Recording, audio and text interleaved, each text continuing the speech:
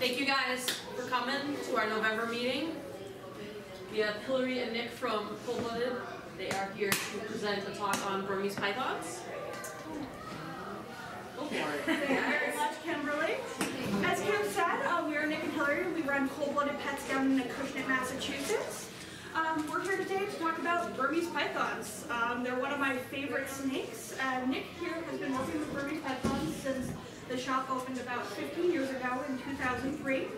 I'm more of a more recent oncomer to Burmese pythons, as this is actually Mr. Wednesday, as he'll be hanging out with me for the majority of our talk today. He was actually one of my first berms, and I've had him since he was just a.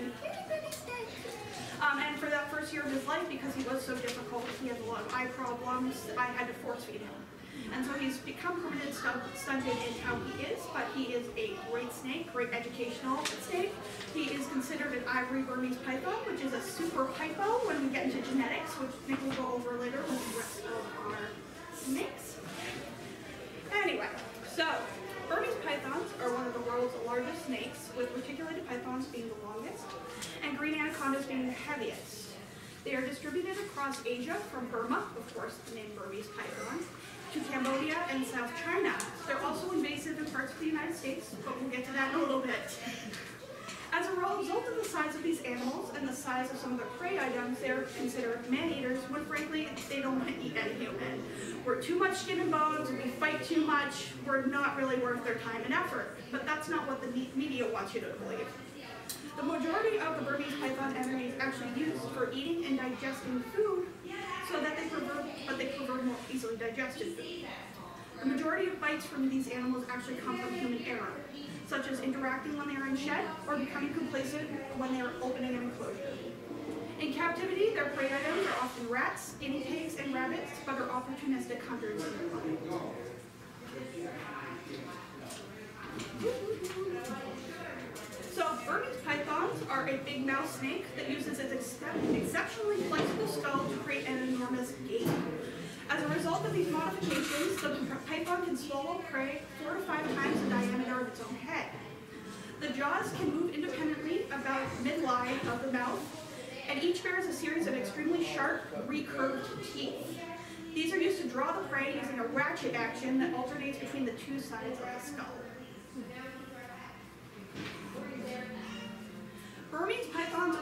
Are not a beginner species, and we often recommend that if a Burmese python is what you want and want to work with, that you should take, you should have someone around to help you when it's time to clean cages, feed, or even take out, because anything can happen with these animals, even the friendliest ones.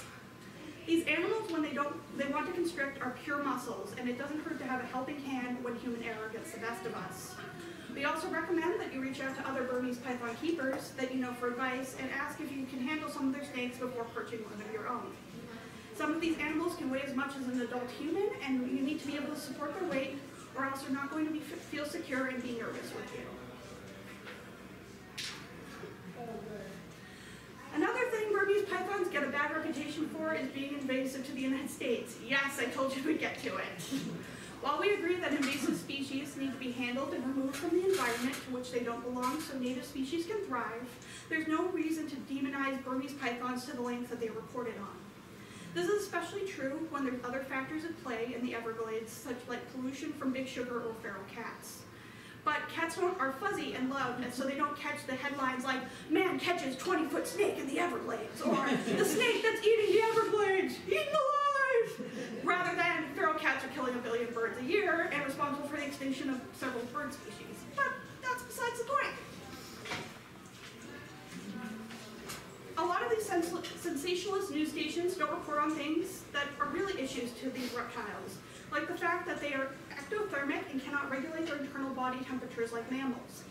Anything lower than 70 degrees for an extended period of time will kill them, which means that they cannot survive in the wild of the majority of the United States.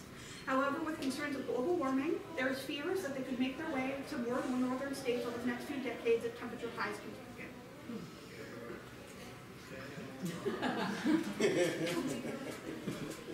A plus helper. now we can all argue about how Burmese pythons came to the Everglades, while animal rights groups believe that they were abandoned pets, which feeds into their narrative of ending all pet ownership. Most agrees that they came to be a problem in the Everglades after Hurricane Andrew in 1992, which destroyed a breeding facility. Because they are invasive, in 2012, Burmese pythons were added to the Lacey Act, which prevented Burmese pythons from being transported into the country as well as state lines. The Lacey Act, if you've never heard about it before, is a 1900s United States law that bans trafficking of illegal wildlife. In 2008, the act was- was amended to include plants and plant products such as timber and paper. In 2012, Burmese pythons, and most recently in 2015, reticulated pythons, African rock pythons, and yellow and green anacondas. All illegal in Massachusetts. Thankfully, interstate transport ban was struck down in the United States thanks to USARK, the United States Association of Reptile Keepers. But they are still legal to import into the United States. Now that we've gotten over the general talk and my general anxiety, let's meet some of these snakes. Nick is going to take them out and tell you a little bit about them, from their color to pattern morph, their age, their current diet, and of course, what we've named them. So this guy is Gimli. Um, I brought him mainly because he's the only semi-normal wild pattern. Um, he's actually 100% dwarf. He's two years old. Um, he's feeding on frozen thawed small rats at the moment.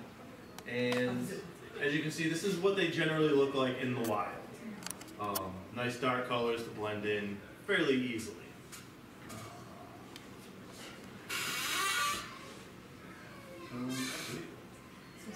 I was gonna go around with him. I'm not gonna pass him around because he can sometimes have an attitude. I was actually gonna ask, is that typical of the dwarf? It is typical of the dwarfs. Little snake, Um, big ass He's usually he's usually great when he's out, um, but he is very cage aggressive. Um, He doesn't have. I can't see anything physical that makes him look like a dwarf.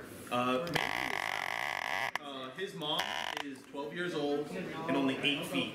His dad is uh, 10 years old and only 4 feet. Wow. Isn't it because they're an island dwarf? Yeah, it's different. If it's different locales from wild caught animals, um, and there's not a whole lot of 100% dwarf berms, you know, in the trade. that? I heard because of the attitude. Yes, most people don't want dwarf stuff because they tend to be angry. Do you think it could be polymorphic, that we could size down just from regular size? Uh, yes, that's what a lot of people do. You'll see a lot of um, 50% dwarfs out there because he will breed with an average size berm. Um, and then you can have, you know, albinos and other dwarfs that stay smaller and more manageable for pets. The problem is, a lot of times they get the dwarf attitude. Uh-huh. So while you will have, you know, a nine foot albino berm, it may try to kill you every time you open the draw. Or to, or whatever you're keeping it in. That's not fun. But he's actually being really good today.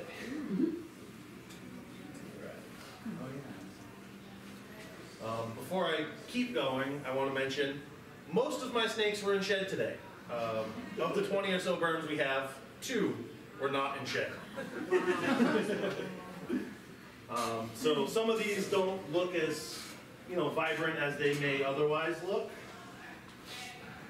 But we work with our snakes on a regular basis. One of the things that we really focus on when we get them from a baby all the way to adulthood is hook training them. Mm-hmm. So when we go into the enclosure, we use a hook to basically tap them to say, it's not feeding day, you're coming out.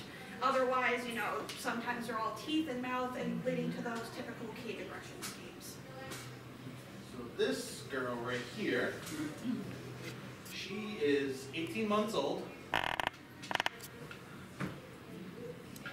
She is in shed, as you can see.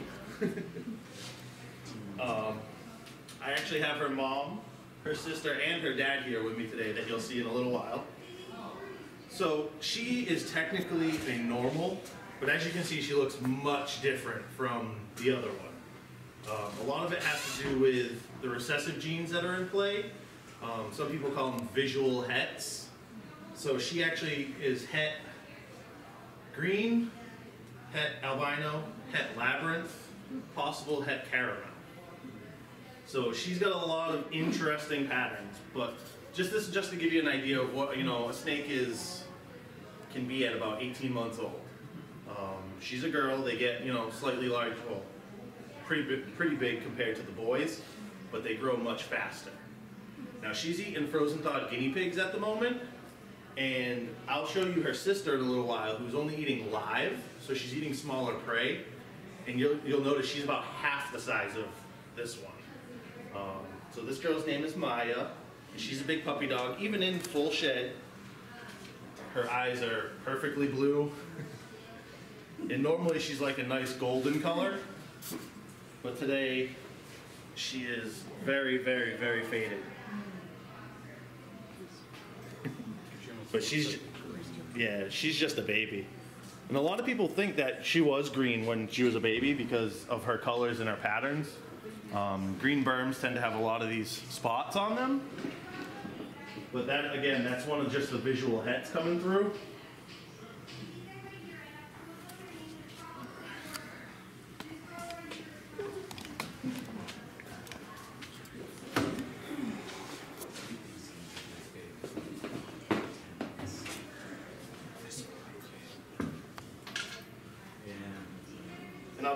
Take some of these out if anyone wants to take pictures of them when we're done.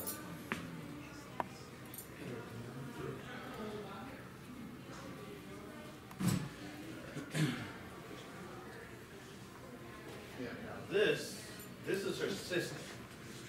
Her sister is a hypo version of her, which means she lacks black. Now when you take away the dark colors, you end up with something that looks like this. Now, She is a hypo. She also has the same hets, uh, possible het caramel, 100% het lab, um, also het albino and het green. And when I take out her mom next, you'll notice that even her hypo coloring, because of her hets, is way different than her mom's. Full siblings, same male, same female. Yes, these are full siblings.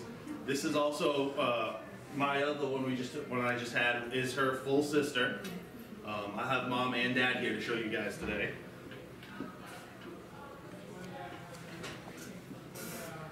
But as you can see, she's got quite a unique color to her.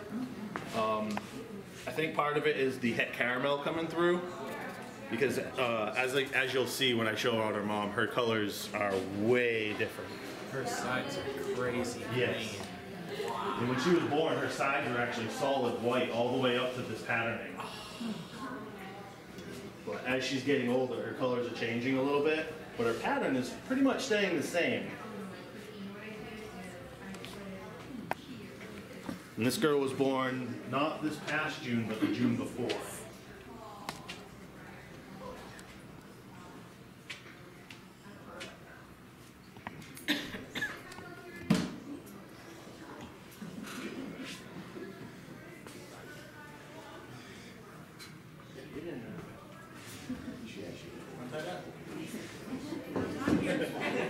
We handle different persons at talk. Now you're the. Yep.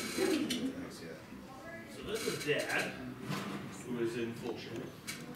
He albino green. He's got no pattern.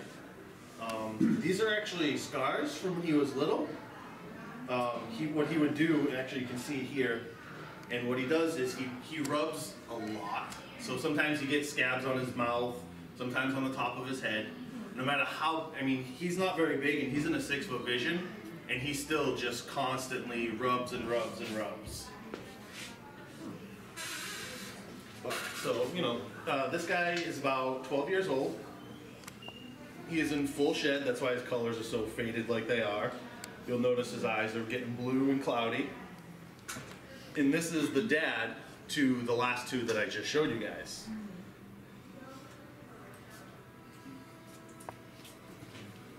So is he more active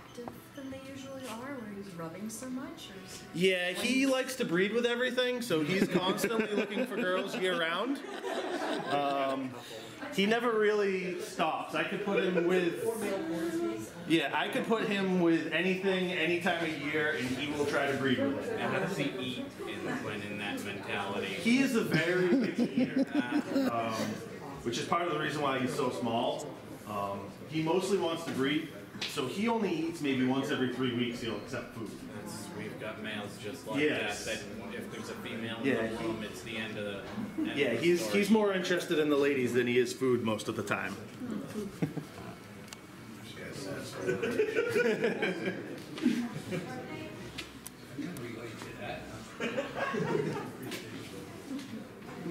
As long as they still eat.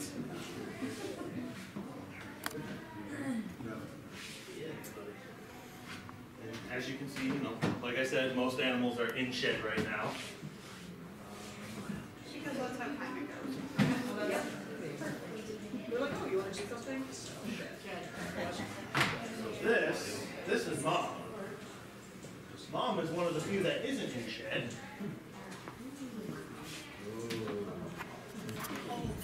But as you can see, her colors are gorgeous. She's got very little black on her. She's got very little black on her. But her colors are still much different than her daughter's, as well as the pattern. She has the normal pattern of a regular Burmese wild caught, but her colors are much, much prettier. She's another one that's usually super cage aggressive, but when she's out, she's a big puppy dog. Um, for instance, when I took her out today, she tried to attack me through her cage. Um, but she's a big baby. And what's She's she got- weigh? Huh? What's she weigh? Um, Ish. 35, 40 pounds? Yeah, Who needs to go to the gym when you have big snakes? Yeah. Uh, But yeah, she is a big puppy dog. oh, she's- This is what your average hypo usually looks like. Okay. Look at the gray and blue on her side. Yes, she is gorgeous. Her tail's uh, under the. the Yeah, I see it. I was just trying to make it so it didn't grab the camera. Oh yeah. I know. Her name's Audrey, by the way, named after Audrey Hepburn, because she's just as gorgeous. Yes, she is Audrey. She eats uh, about a five pound rabbit every other week. She's a little too big.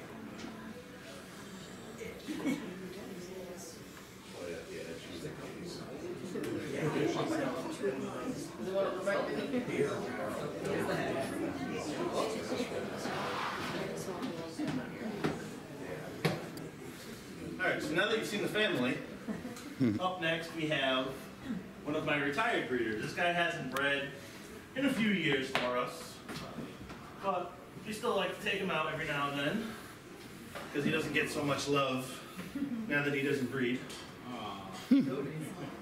So he's an albino. As you can see, he's also in shed because he's nice and faded. And, yeah. And this guy's actually pretty big for a breeder-sized boy. Um, as you saw by the other albino green, who was maybe half his size. Um, when I originally bought him uh, 12 years ago, he was sold to me as a female. So I tried to put him in with another uh, male, and then there was issues. Males will fight, and a lot of times one of them doesn't make it through. Um, whether it be um, due to infection from wounds or just outright. Sometimes they actually will actually strangle each other. Um, I had uh, probably about 10 years ago. I had a big green female who actually killed one of my albino green males. Um, so it is. I, I try to tell people it is something that does happen when breeding. Snakes don't always get along, and sometimes there's nothing you can do about it. So I always try to stress to people that you don't want to breed your pets because something can happen. Um, now, while this guy is, you know, a pet now, it is possible that things happen to males as well as females. Females can get egg bound.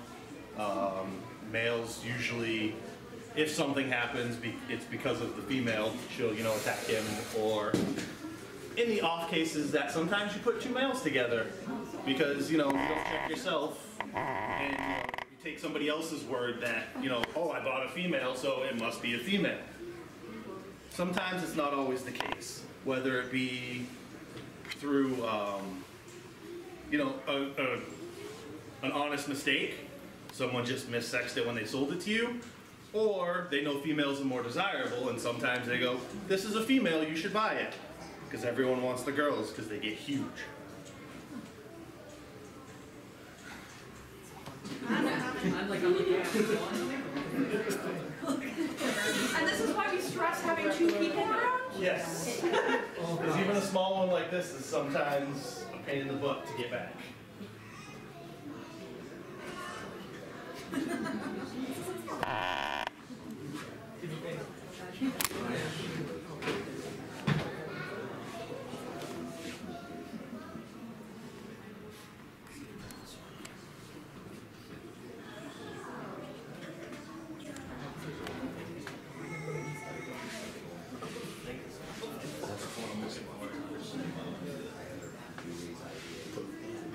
Edit in other footage. Okay.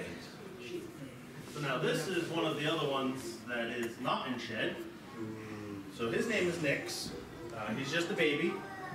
Um, he's about eight months old. Now this is what you get when you put a hypo and an albino. These are called pearls. Um, as you can see, he's got a much more faded pattern on his back. They don't have super white contrast. A lot of times they have um, you'll see all this fading, and the hypo really brings that out. Also, their eyes generally aren't a bright red like the normal albinos. They're usually more of a gold color. Um, he actually has a little scab on his back from a rough shed that he had. But other than that, he's a sweet boy. He's eating frozen thawed rats at the moment. Um, yeah, just an all-around pretty boy. Figured I'd bring him and show people that, you know, a few of the different morphs. Uh, Hillary already went over what the super hypos look like. Yeah, the only the only downside to the pearls is when they get older, they typically start to turn more light in color, and a lot of people, it's really hard to tell the adults from a normal albino. Aside from the eye color.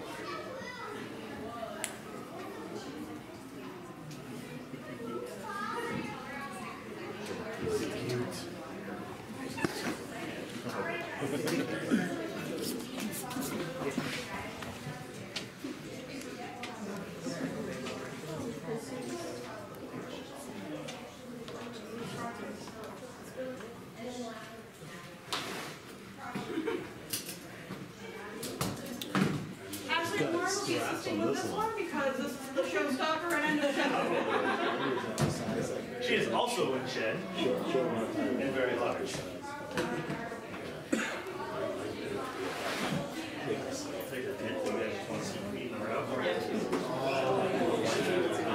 Yay!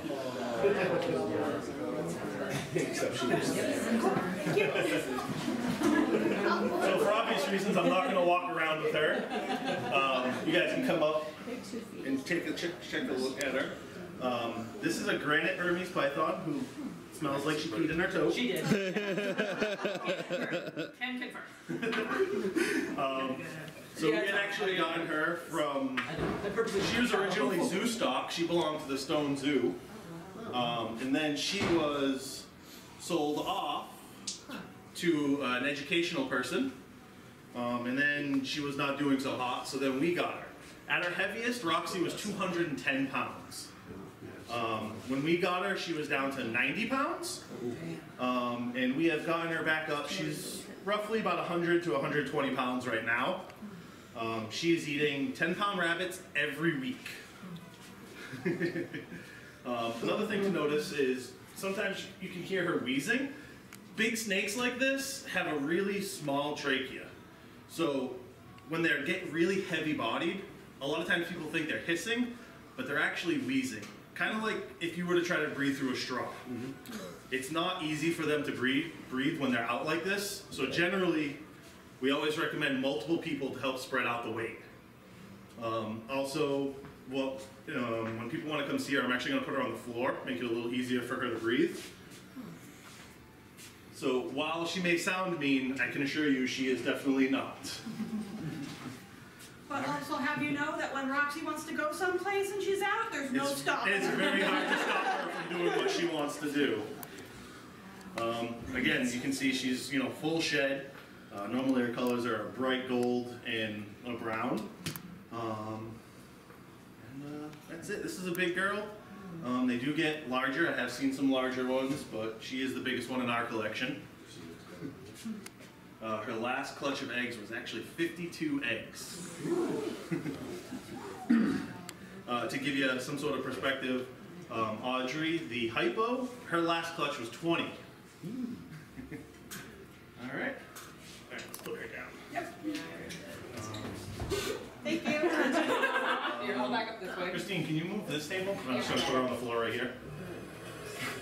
There we go. All right, that is The Burmese python. The Burmese python talk. If anyone wants to come up and uh, say hi to Roxy, feel free.